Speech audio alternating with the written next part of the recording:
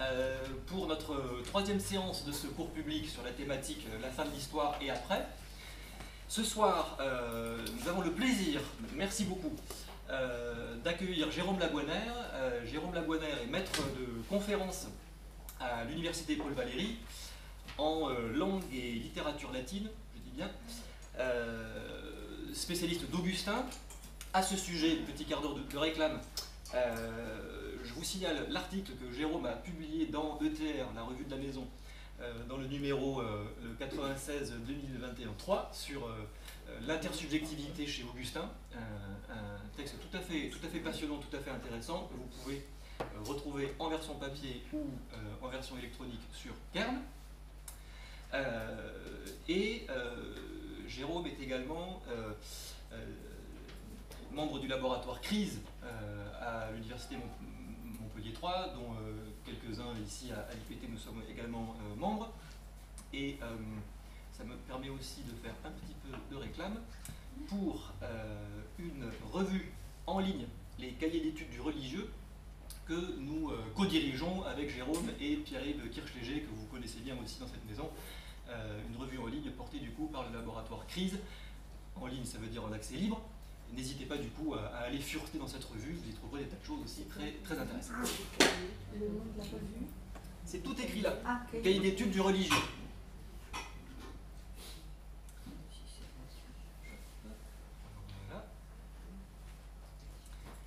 Euh, et euh, Jérôme Laguaner donc, nous parle ce soir du sujet La cité de Dieu d'Augustin, philosophie, théologie ou archéologie de l'histoire. Nous sommes très heureux de, de, te compter parmi nous et nous T'écoutons. Merci beaucoup. Guillaume, donc déjà un grand merci pour son invitation.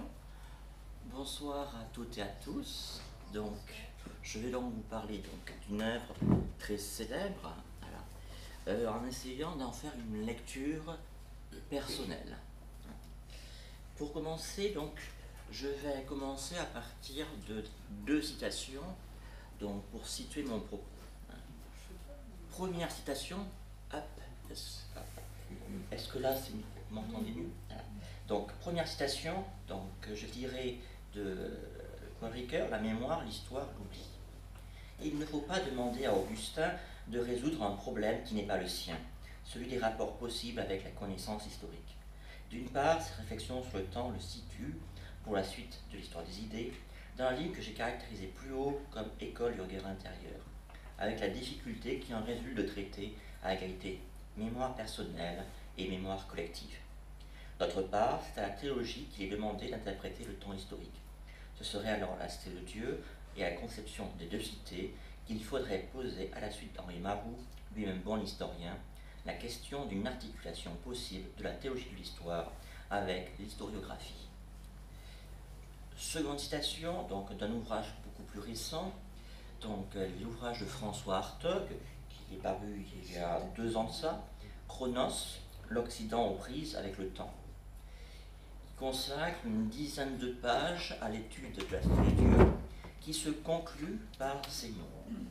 Avec les deux cités, la terrestre la divine, Augustin se livre à un transfert des deux registres de Paul, du plan individuel à celui de l'histoire universelle. Le comme ne pas de Paul vaut en effet pour l'ensemble de la cité de Dieu. Elle est double elle est du monde comme n'en étant pas.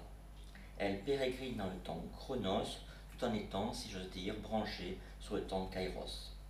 Grâce à cette opération puissante, le concept des deux cités va s'inscrire durablement dans la théologie de l'histoire. Avec lui, Augustin fait aussi entrer le concept du simultané, du non simultané dans le temps chrétien, et pour finir, dans le temps de l'histoire. Le simultané et le non-simultané est en effet la traduction temporelle du comme ne pas de Paul. Être du monde tout en n'étant pas. Être d'un temps tout en étant simultanément d'un autre temps. Ainsi chemine la cité de Dieu tiraillée, écartelée, souvent entre le temps chronos et le temps kairos. Ce qui m'intéresse dans ces deux citations, même s'il y a bien sûr d'importantes différences conceptuelles, c'est que tant dans la station de Paul Ricoeur que de François Hartog, on rattache la de Dieu à la notion de théologie de l'histoire. Et il y a là, donc, un, arrière-plan, qu'on trouve notamment quelqu'un comme Armée de Lubac, sur laquelle la CE2 serait la première de l'histoire, qui enchaînerait d'autres, notamment celle de Joachim de Flore, et aboutirait à la philosophie d'histoire chez Hegel. Ici, mon propos ne va pas être euh, de nier l'intérêt de lire de Dieu comme une théologie d'histoire, mais néanmoins de rappeler que cette notion de théologie d'histoire est totalement étrangère à Augustin. C'est un concept plus tardif qu'on applique à Augustin. Et euh, pour le montrer, hein, euh, ma première remarque, c'est de rappeler que pour Augustin, le mot de théologia est un mot au sens négatif. Toutes les occurrences de théologia chez Augustin sont négatives. La théologia, pour Augustin, renvoie en fait au sens que Varron donne à théologia, c'est-à-dire que ça désigne le discours païen sur les dieux. Et donc, on aura chez Augustin une critique hein, en bonne et due forme de la théologie, hein, de la théologie. Et inversement, lorsqu'Augustin veut définir sa pratique, eh bien, il va employer le terme de philosophia. Hein. Philosophia compris au sens étymologique du terme d'amour de la sagesse. La sagesse étant le Christ. Et de fait, dans la perspective augustinienne, le christianisme se définit à la fois comme vraie philosophie et vraie religion. Et les deux expressions sont parfaitement homologiques, parfaitement synonymes pour Augustin. Ce point est capital hein, si on veut comprendre Augustin. Augustin ne veut pas construire une œuvre singulière. L'intention d'Augustin, c'est d'essayer d'expliciter les vérités de l'enseignement de l'Église universelle, tantôt en utilisant les outils de la raison philosophique, tantôt avec les outils de l'exégèse biblique. Et ces deux chemins sont, pour Augustin, parfaitement complémentaires. Il n'y a pas d'opposition entre la raison et la foi hein, chez Augustin. Les deux se combinent.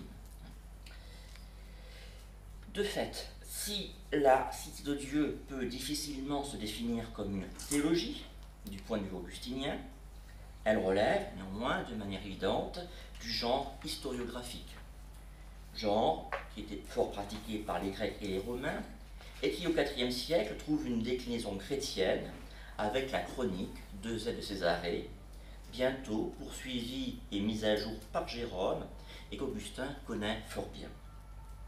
Or, ici, qu'est-ce que l'histoire? Qu'est-ce que l'histoire au sens de genre historiographique Ici, je vais reprendre en fait la définition que mon directeur de, thèse et mon maître, Patrice Cambronne, a donné donc euh, dans son ouvrage qu'il a consacré à de Dieu, où s'appuyant sur l'étymologie indo-européenne du mot, il propose cette définition de l'histoire. Je cite une tentative dans le droit fil du mythe et de l'épopée pour percevoir un réseau de critères d'intelligibilité dans le rêve disloqué et disloquant pourrions-nous ajouter des apparences. En effet, dans l'Historia, on a donc toute une racine qui renvoie à la question du savoir.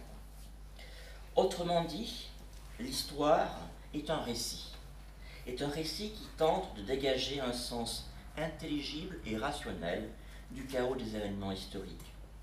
Et le sens, sans vouloir faire un mauvais jeu de mots, doit être ici compris au double sens de signification et d'orientation. Ainsi,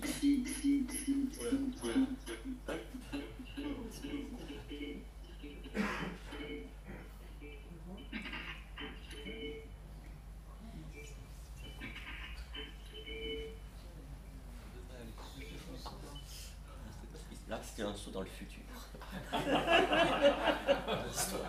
voilà. Alors, donc, comme, je le disais, donc le sens doit être compris en double sens. Donc la signification et l'orientation. Par exemple, dans les historiographies antiques, on pourra considérer la fortuna comme un concept régulateur de l'histoire. Par exemple, chez des auteurs comme Polybe ou Chez Augustin, l'histoire est donc lue à travers l'opposition des deux cités, la cité de Dieu et la cité terrestre. Or, cette histoire, ce récit, conduit inexorablement Augustin à interroger la place du mal dans l'histoire. C'est cette hypothèse de lecture que j'aimerais déployer aujourd'hui, à savoir que la de Dieu doit d'abord être lue comme une archéologie du mal dans l'histoire. Pour cela, je procéderai en deux temps. Dans un premier temps, je dirai rapidement deux textes où Augustin explicite lui-même le contenu et les enjeux de la cité de Dieu. Avant, dans un second temps, d'esquisser la manière dont cette archéologie de l'histoire se déploie dans la cité de Dieu. Je commence donc par les intentions explicites d'Augustin. La chance qu'on a avec Augustin, c'est qu'on a beaucoup de textes, et beaucoup de textes où Augustin évoque les ouvrages qu'il a écrits. Et de fait, pour la cité de Dieu, on a deux textes datés des années 426-427, ou, c'est-à-dire juste après la fin de la rédaction de la cité de Dieu, qui nous permettent de connaître les intentions, hein, du moins explicites, de l'œuvre. Le premier texte, donc, euh, c'est une lettre. Une lettre, une lettre, une lettre. Désolé. je recule pas le micro. Non, non, c'est bon, vas-y, continue, continue. Donc, la première, c'est une lettre écrite par un catéchumène du nom de Firmus, qui avait assisté euh, donc, à une lecture publique du livre 18 de Dieu qui avait été enthousiasmé par cette œuvre. Et donc, il avait écrit à Augustin, donc, pour Augustin, il lui envoie un exemplaire. Donc, c'est le premier texte, donc c'est un peu long, donc je ne le lirai pas. Hein. J'en ferai tout à l'heure le résumé. Le second texte, c'est la notice donc, des, des rétractationes écrite par Augustin. Les rétractationes, c'est une œuvre très intéressante pour nous parce que à la fin de sa vie, donc alors qu'il est en pleine querelle pélagienne avec Julien Desclanes, Augustin va opérer une relecture de l'ensemble de son œuvre, depuis les premières œuvres jusqu'aux œuvres les plus récentes. Et à chaque fois, il va indiquer le contexte de l'œuvre, euh, le contexte historique, hein. donc comme ça, ça permet pour nous, ça nous permet de dater les œuvres, mais également il va relire en, disant là j'ai écrit ce point-là, mais c'était une grosse bêtise, hein, il aurait fallu que je dise ceci. Hein. Et en fait, derrière de cela, il y a un enjeu polémique. Le but, c'est d'enlever à Julien Desclades, son adversaire, tout moyen de critique contre lui. Et donc il consacre toute une notice à nous expliquer hein, l'origine de la cité de Dieu. Ces deux textes sont très intéressants lorsqu'on les met côte à côte, parce qu'ils nous permettent de comprendre la structure de l'œuvre. Hein? Les deux textes nous présentent la structure de l'œuvre de la même manière, à savoir que pour Augustin, l'œuvre se compose de deux parties. D'abord, une première partie qui relève du genre de l'apologétique et qui regroupe les livres 1 à 10. Cette première partie se découpe elle-même en deux moments. Du livre 1 à 5, Augustin réfute le rôle des dieux païens dans le bonheur terrestre de Rome. Et des livres 6 à 10, Augustin réfute le rôle des dieux païens dans le bonheur dans l'au-delà deuxième partie des, des, des de Dieu, du livre 11 au livre 22, qui lui relève du genre de la catéchèse. Et qui a pour but d'expliciter le mystère des deux cités, la cité de Dieu et la cité terrestre. Cette partie, en fait, obéit à un ordre. D'abord, les quatre premiers livres vont désigner l'origine des deux cités. Donc 11 à 14, donc Augustin va expliquer l'origine des deux cités. Du livre 15 au livre 18, la croissance des deux cités. Enfin, les livres 19 à 22, les fins respectives des deux cités. Donc ça, c'est un des éléments, un élément qu'on a aussi bien dans la lettre à Firmus que dans les Retractationes. Le texte des Retractationes apporte en outre un élément en plus, à savoir le contexte de rédaction. Augustin nous apprend qu'il a rédigé Cité de Dieu en réaction aux critiques des païens à l'égard du christianisme, qu'ils accusent d'être à l'origine du sac de Rome par les troupes d'Hugo d'Alaric en août 410. C'est là, en fait, une, information qu'il faut prendre avec précaution. En effet, quand on travaille l'œuvre, on, on, se rend compte très vite que la de Dieu a été écrite en 412-413, près de 2-3 ans après le sac de Rome. Plus important, la plupart des thèmes traités par dans de Dieu ont déjà été traités et développés par Augustin avant 410, notamment dans plusieurs sermons. Et par ailleurs, on a tout un ensemble de sermons hein, qui, ont notamment, notamment été édités par Jean-Claude Fredouille, qu'Augustin a prononcé juste après le sac de Rome. En fait, quand on, travaille donc le sujet, on, se rend compte que euh, la raison de la rédaction de la de Dieu est peut-être légèrement différente et que l'un des principaux laboratoires d'écriture, c'est en fait une correspondance qu'Augustin va avoir dans les années 412 avec un, euh, aristocrate païen lettré, Volusianus, donc qui après le sac de Rome donc, s'est réfugié en Afrique avec tous ses amis lettrés. Et c'est dans cette correspondance que déjà on voit naître réellement les enjeux, notamment les enjeux politiques de la cité de Dieu.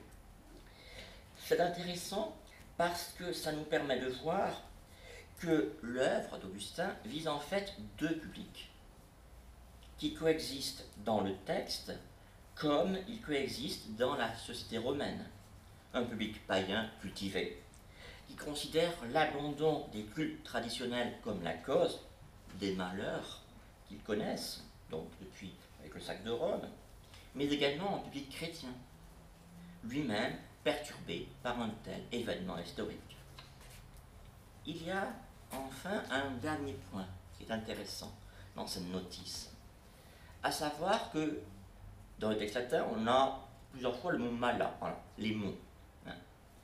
Le temps de l'histoire, aussi bien celle de, Rome que le temps humain, est intrinsèquement marqué par la question du mal. Et c'est pour cela que je vais essayer de développer devant vous euh, cette lecture. Hein. Ça sera mon, second point. La cité de Dieu, une archéologie du mal dans l'histoire. En effet, donc, pour Augustin, le temps, à savoir, selon une distinction établie par John Quinn, le temps moral et le temps historique, est intrinsèquement lié à la question du mal. De fait, il faut avoir à l'esprit que la question du mal est une question centrale dans la pensée d'Augustin. C'est par exemple l'une des questions qui a conduit Augustin à adhérer au manichéisme. Parce que la réponse donnée par le manichéisme lui semblait beaucoup plus rationnelle que la question qu'il pouvait avoir, que la réponse qu'il pouvait avoir auprès des cercles donc, euh, chrétiens, catholiques, hein, africains hein, de l'époque.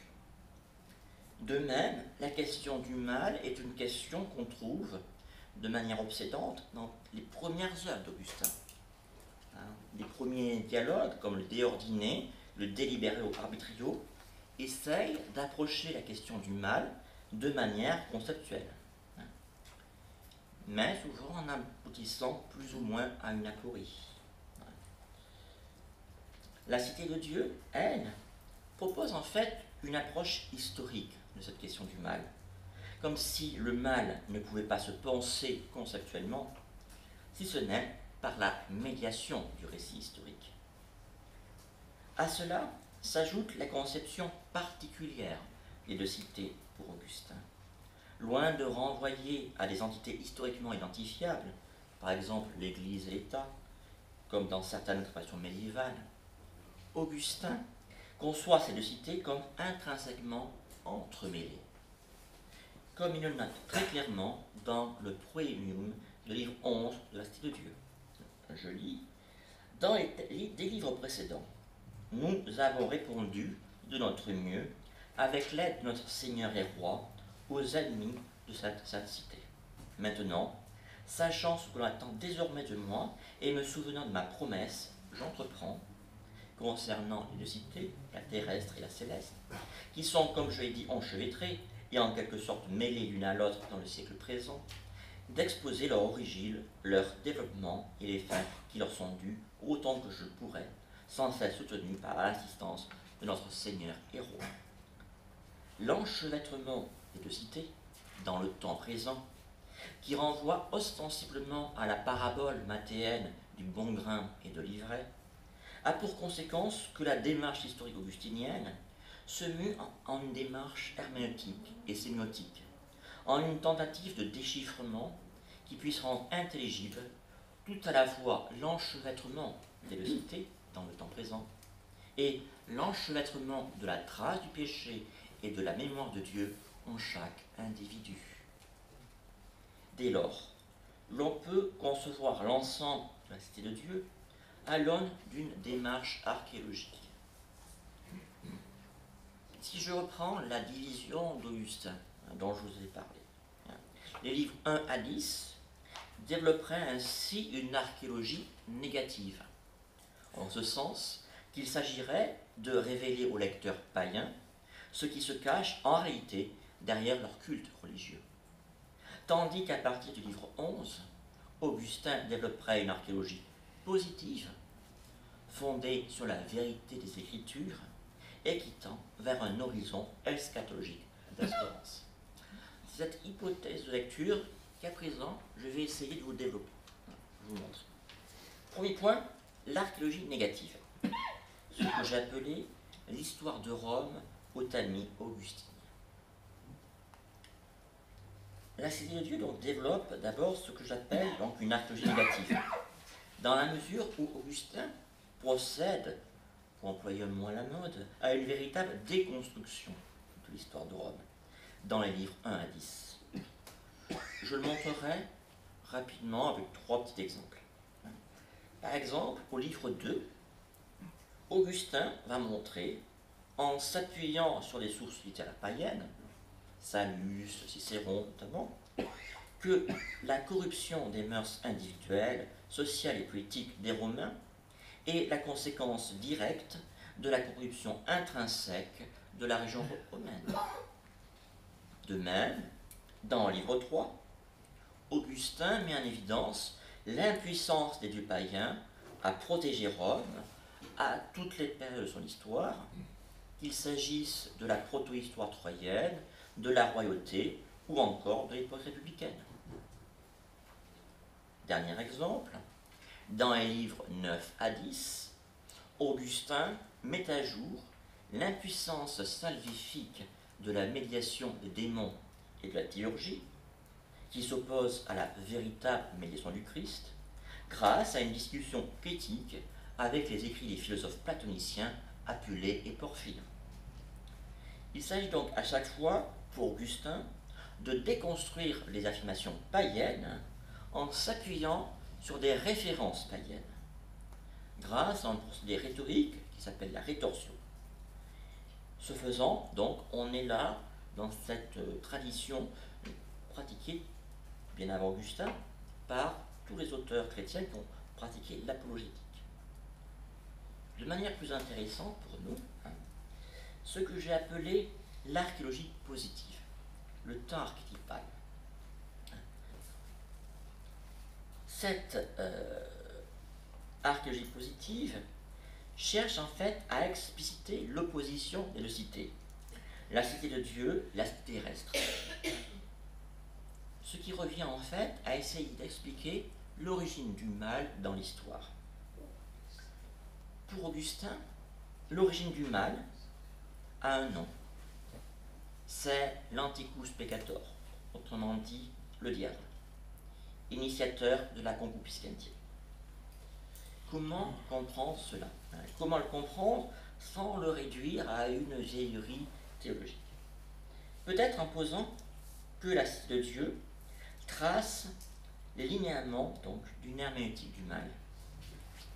Le temps de l'histoire du mal ne trouve son sens que dans une proto-histoire de l'humanité. La cité terrestre est fille de Caïn, tandis que la céleste a sa préfiguration en Abel. Ça, ce qu'Augustin dit très clairement en Cité de Dieu 15, 1. Or, faut-il le rappeler, dans la perspective augustinienne, chacun de nous est la réplique d'Adam, père de Caïn et d'Abel. Qu'est-ce à dire Sinon que pour Augustin de la cité de Dieu, comme pour celui des confessions, la frontière entre la Jérusalem céleste et la Babylone terrestre, entre la cité de Dieu et la cité du diable, ne passe pas entre les sociétés historiques, ni entre les hommes, mais d'abord au milieu du cœur de chacun d'entre nous. Cependant, le recours à Adam, le prototype, ne suffit pas à Augustin. Cette proto-histoire ne trouve son sens que dans une préhistoire de l'humanité, dans la scission des deux sociétés angéliques où s'amorcent les origines des deux cités qui concernent aussi l'histoire humaine. Augustin recourt donc à la proto-histoire dont le prototype est la préhistoire de figures archétypales, car pour lui, c'est cet avant-temps qui permet d'expliquer le mystère du mal dans l'histoire. On peut résumer cette apparition du mal comme un drame en deux actes. Premier acte, la scission de la société angélique, qu'Augustin analyse au livre 11 et 12 de la Cité de Dieu. S'appuyant ici sur un motif qu'on trouve déjà dans le livre d'Enoch, mais qu'Augustin démontre en s'appuyant sur le témoignage néo-testamentaire, l'évêque d'Hippone interprète la séparation des lumières et ténèbres de Genèse 1-3 comme la preuve de cette séparation entre les anges bons et les anges mauvais au début de la création. Je lis le texte. Voilà pourquoi, même s'il faut voir une autre lumière dans ce passage du livre sacré, Dieu dit que la lumière soit la lumière fut, et l'autre ténèbre, où il est écrit Dieu sépara la lumière des ténèbres. Pour nous, cependant, il y a là deux sociétés angéliques. L'une qui jouit de Dieu, l'autre qui est gonflée d'orgueil. L'une à qui il est dit Adorez-le, vous tous ces anges. L'autre dont le chef dit Je te donnerai tous ces biens. Si te prosternant, tu m'adores. L'une embrasée pour Dieu d'un amour saint, l'autre brûlant pour sa propre grandeur d'un amour impire. Or, cette séparation entre ange bon et ange mauvais s'explique par l'amour désordonné de ces derniers, qui a pour nom l'orgueil, et qu'Augustin analyse à partir d'une ontologie d'origine néo-platonicienne, même porphyrienne, où se détourner de l'être, avec un E majuscule, équivaut à diminuer son être avec un E minuscule. Je lis le texte. Cherche-t-on d'autre part ce qui cause la misère des mauvais anges? Elle se présente justement dans ce fait qu'ils se sont détournés de celui qui est au suprême degré et qu'ils se sont tournés vers eux-mêmes qui ne l'ont pas. Ce vice a-t-il un autre nom que l'orgueil? Car l'orgueil est l'origine de tous les péchés. Ainsi ces anges n'ont pas voulu conserver leur force tendue vers lui et eux qui auraient accru leur être en restant unis à l'être suprême, En se préférant à lui, ils ont préféré ce qui a moins d'être. Voilà la première défaillance, la première misère, le premier vice de cette nature qui a été créée. Non pour être suprême degré, mais pourtant pour trouver son bonheur dans la jouissance de l'être suprême. En s'en détournant, elle ne s'anéantit pas, mais elle diminuait son être, et de ce fait se trouvait malheureuse. Je passe maintenant au second acte de ce drame. Le premier péché. Je parle volontairement de premier péché et pas de péché originel, on pourra y revenir. Le premier péché que, développeront, développent les livres 13 et 14. Le péché d'Adam constitue en définitive la réplique du péché des mauvais anges, puisque la désobéissance d'Adam s'explique d'abord par un amour désordonné nommé orgueil.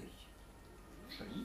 Car la corruption du corps qui alourdit l'âme n'est pas la cause du premier péché, elle en est le châtiment. Et ce n'est pas la chair corruptible qui a rendu l'âme pécheresse, c'est l'âme pécheresse qui a rendu la chair corruptible. Or, ces vices qui prévalent chez le démon, l'apôtre les attribue à la chair que n'a certainement pas le démon.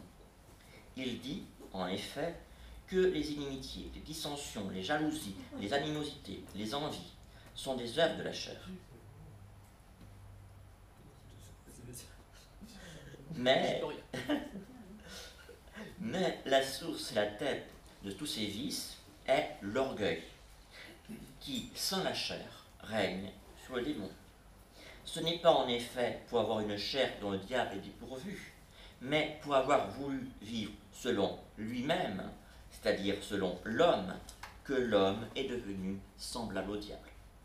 Car lui aussi, le diable, a voulu vivre selon lui-même quand il ne s'est pas maintenu dans la vérité.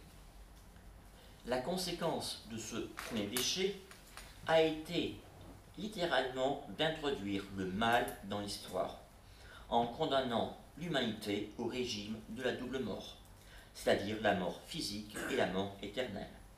Nous l'avons déjà dit au livre précédent, Dieu voulant non seulement unir les hommes en une seule société par la similitude de la nature, mais, grâce au nœud de la parenté, les rassembler en une harmonieuse unité dans les liens de la paix, a institué l'humanité à partir d'un seul homme. Et cette humanité, en chacun de ses membres, ne devait pas mourir. Si les deux premiers, si les deux premiers l'un tiré du néant, l'autre du premier homme, ne l'avaient mérité par leur désobéissance. Et leur faute a été si grande que la nature humaine s'en est trouvée dépravée et qu'avec elle se transmettent aux descendants la servitude du péché et la nécessité de la mort. Or, le règne de la mort a tellement prévalu sur les hommes qu'un juste châtiment les précipiterait tous dans la seconde mort, dont la durée est éternelle, si une grâce de Dieu imméritée n'en délivrait un certain nombre. On peut, dès lors, caractériser le régime augustinien d'historicité comme un régime de l'amour désordonné, qui a pour nom concupiscentia, qui est le principe actif qui permet d'expliquer la présence du mal dans l'histoire, ce que résume fort bien la finale célèbre du livre 14. Deux amours ont donc fait deux cités.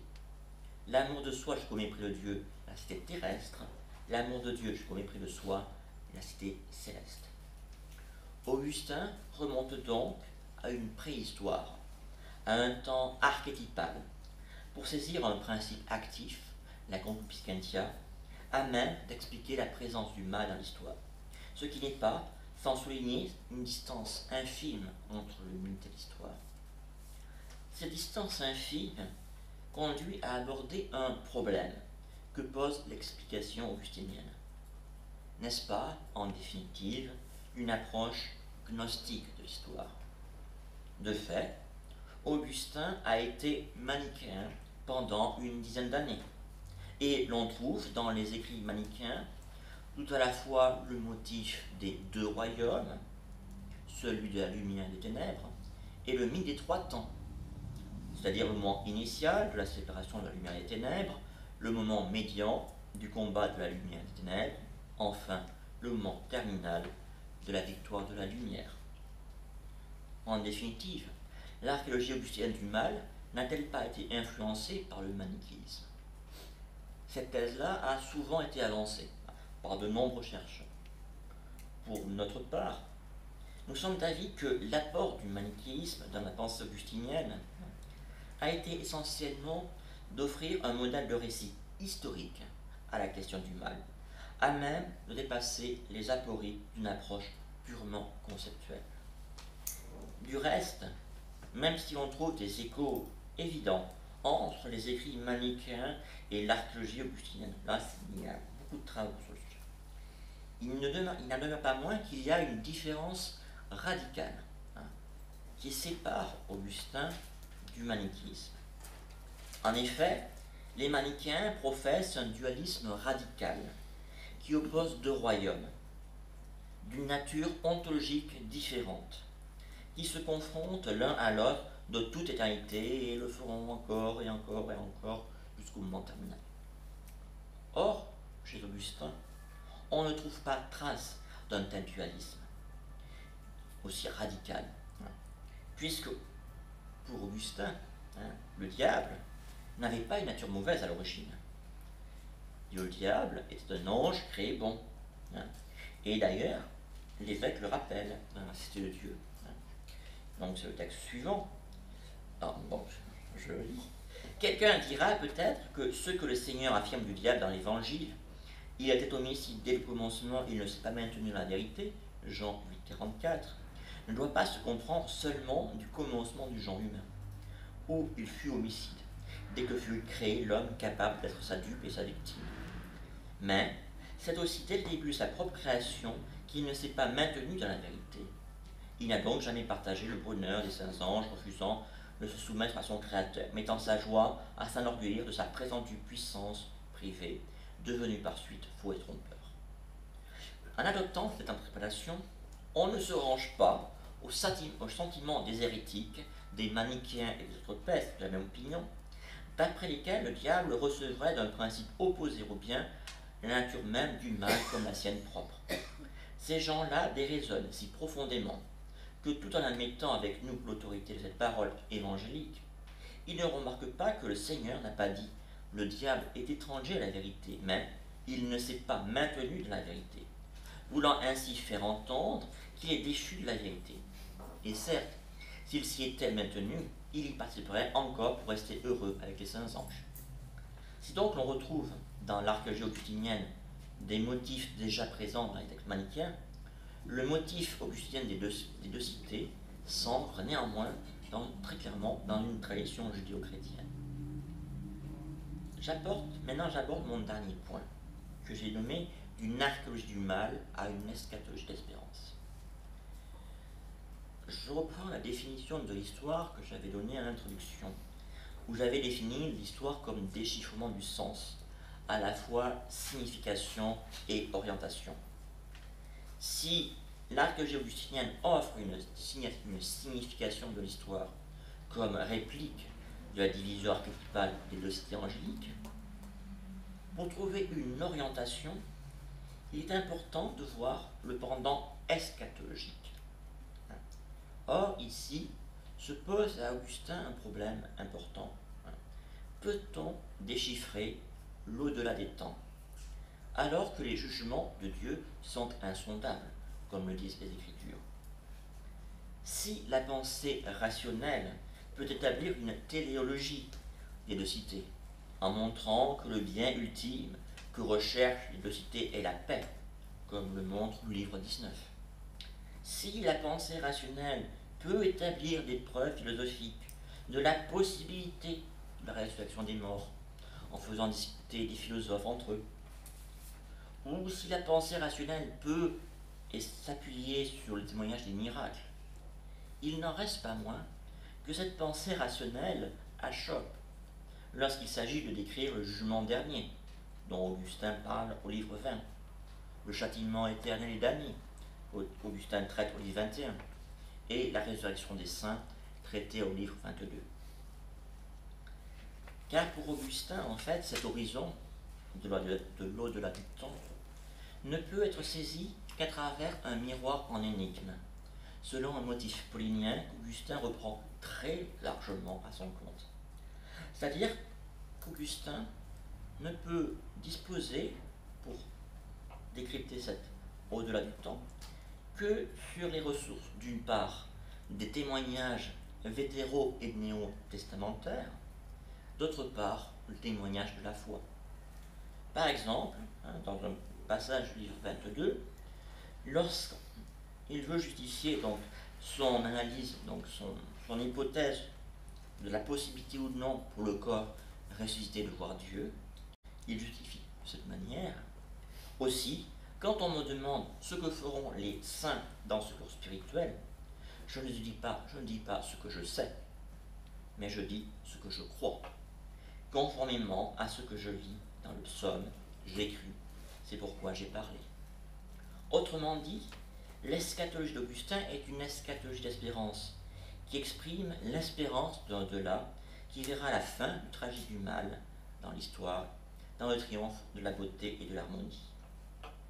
Cependant, ici, c'est un point que je tiens à, souligner, cette eschatologie augustinienne, contrairement à ce qu'on peut lire très souvent dans pas mal de publications, ne conduit pas à dénigrer la vie présente. Bien au contraire. Hein. Parce que ce qui est assez étonnant dans la cité de Dieu, c'est que quand on lit des livres 11 jusqu'au livre 22, on a l'impression que dans cette vie nous vivons, il n'y a plus du mal, du mal, du mal, du mal, du mal. Donc, avec notamment l'image fameuse de la vallée des larmes. Sauf que, au livre 22, au moment où Augustin évoque la résurrection des saints, eh bien, cette évocation-là amène Augustin à donner une vision beaucoup plus positive de la vie présente. Par exemple, au chapitre 24 du livre 22, Augustin va énumérer très longuement les différents biens terrestres dont nous pouvons jouir en cette vie. De même, dans les chapitres 14 à 20 du livre 22, Augustin, hein, alors qu'il parle du corps des, corps des saints ressuscités, eh bien, va louer la beauté des corps. La beauté des corps des hommes et des femmes. Donc, on le voit en fait, c'est seulement à l'aune de cet horizon d'espérance que la vie présente prend sens.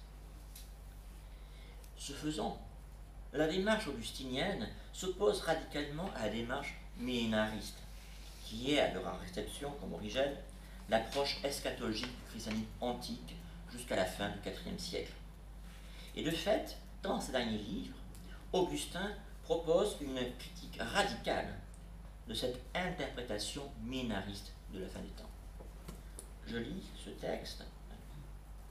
Ceux qui, d'après les paroles de ce livre, l'Apocalypse de Jean, ont conjecturé que la première résurrection serait corporelle, furent, par-dessus toute autre raison, fortement impressionnés par le chiffre de mille ans, comme s'il devait y avoir pour les saints une sorte de repos sabbatique d'une très longue durée, c'est-à-dire un saint loisir après labeurs des six mille ans écoulés depuis le jour où l'homme fut créé, et en raison de son grand péché, précipité de la félicité du paradis dans les tribulations de cette vie mortelle. De la sorte, puisqu'il est écrit un jour pour le Seigneur et comme mille ans et mille ans comme un seul jour, à la suite de ces six mille ans, de ces six mille années passées comme six jours, suivra dans les derniers mille ans un septième jour comme sabbat, et c'est pour le célébrer que les saints réciteront. Cette opinion serait de quelque manière tolérable si l'on croyait que les saints obtiennent en ce sabbat, par la présence du Seigneur, quelques délices spirituelles. Et nous aussi. Nous avons autrefois partagé cette opinion. Mais, quand on entend dire que ceux qui alors seront ressuscités s'adonneront aux festins charnels les plus démesurés, dans lesquels nourriture et boissons regorgeront au point que, loin de garder quelque retenue, ils dépasseront même la mesure de ce qu'on saurait croire. Assurément, il ne peut y avoir que des hommes charnels pour croire de pareilles choses. Quant à ceux qui sont spirituels, ils désignent les partisans des opinions d'un mot grec, les kiliastes, que nous pourrions dénommer littéralement les millières. Il serait trop long de les réfuter en détail, nous devons plutôt montrer maintenant comment il faut entendre ce texte de l'écriture, puis suivre toute une interprétation de l'Apocalypse de Jean. Si Augustin, donc, comme il le rappelle dans ce texte, a adopté une interprétation millénariste dans ses premiers écrits, il s'en détache assez tôt, hein, dès 395. Hein.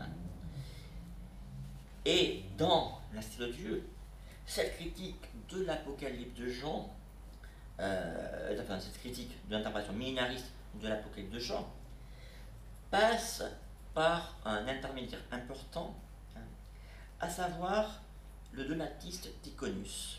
Hein, le donatiste Ticonius qui avait rédigé un ouvrage nommé le Livre des règles, avec des règles d'interprétation des Écritures. Et notamment donc une règle nommée, donc sa cinquième règle de Ticonius, De temporibus, sur les temps. Hein. Donc voilà l'introduction de Ticonius.